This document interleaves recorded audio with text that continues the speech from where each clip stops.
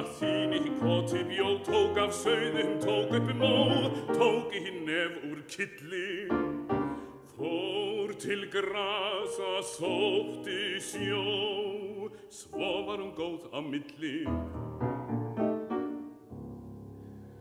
Ingaló,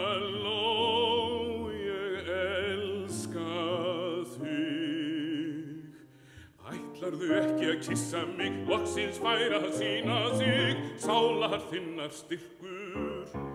Neitar það vera notaleg, nema það sé myrkur.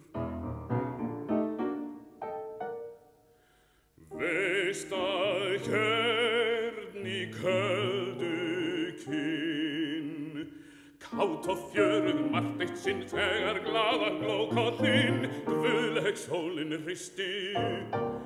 Amma þín hann afa minn Alveg hygglust kisti